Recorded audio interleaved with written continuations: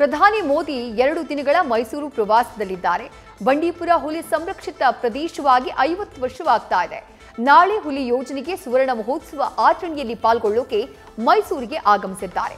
ಮೈಸೂರಿಗೆ ಆಗಮಿಸಿದಂತಹ ಪ್ರಧಾನಿಯನ್ನ ಜಿಲ್ಲಾಡಳಿತ ಹಾಗೆ ಜನಪ್ರತಿನಿಧಿಗಳು ಸ್ವಾಗತಿಸಿದ್ರು.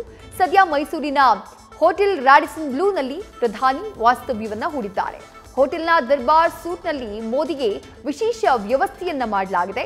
ನಾಳೆ ಬೆಳಗ್ಗೆ ಬಂಡೀಪುರಕ್ಕೆ ಭೇಟಿಯನ್ನ ಕೊಡಲಿರುವಂತಹ ಪ್ರಧಾನಿ ಮೋದಿ ಸಫಾರಿ ಮಾಡಲಿದ್ದಾರೆ. ಬಳಿಕ ಮೈಸೂರಿನ ಕಾರ್ಯಕ್ರಮದಲ್ಲಿ ಪ್ರಧಾನಿ ಮೋದಿ ಭಾಗಿಯಾಗುವವರಿದ್ದಾರೆ.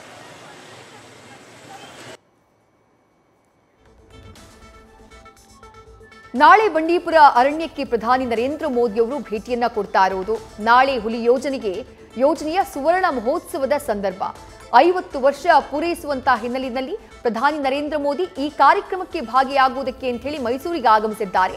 ಸದ್ಯ ಮೈಸೂರಿನ ರ್ಯಾಡಿಸನ್ ಬ್ಲೂ ಹೋಟೆಲ್ನಲ್ಲಿ ಪ್ರಧಾನಿಗಳು ತಂಗಿದ್ದಾರೆ. ಅಲ್ಲಿ ಅವರಿಗೆ ಉಳ್ಕೊಳ್ಳುವಂತಹ ವ್ಯವಸ್ಥೆ ಮಾಡಲಾಗಿದೆ.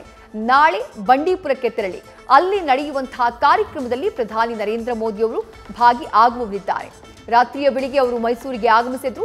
ಬಂದಂತಹ ಪ್ರಧಾನಿಗಳನ್ನ ವೆಲ್ಕಮ್ ಮಾಡಿಕೊಳ್ಳಾಯಿತು. ಅದಾದ ಬಳಿಕ ನೇರವಾಗಿ ಪ್ರಧಾನಿಗಳು ರಾಡಿಸನ್ ಬ್ಲೂ ಹೋಟೆಲ್ಗೆ ತೆರಳಿದ್ದಾರೆ. ಇನ್ನು ಚುನಾವಣಾ ನೀತಿ ಸಂಹಿತೆ ಜಾರಿಯಲ್ಲಿರೋದ್ರಿಂದ, ಪ್ರಧಾನಿಗಳನ್ನ ಸರ್ಕಾರಿ ಕಾರ್ಯಕ್ರಮದ ಹಿನ್ನೆಲೆಯಲ್ಲಿ ಬಂದಿರೋದ್ರಿಂದ ಕೇವಲ ಅಧಿಕಾರಿಗಳು ಮಾತ್ರ ವೆಲ್ಕಮ್ ಮಾಡಿಕೊಂಡಿದ್ದಾರೆ ಅನ್ನುವಂಥದ್ದು ಕೂಡ ಇಲ್ಲಿ ವಿಶೇಷ.